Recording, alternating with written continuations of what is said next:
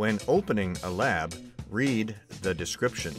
It might contain an answer. It might indicate the presence of a bonus cache.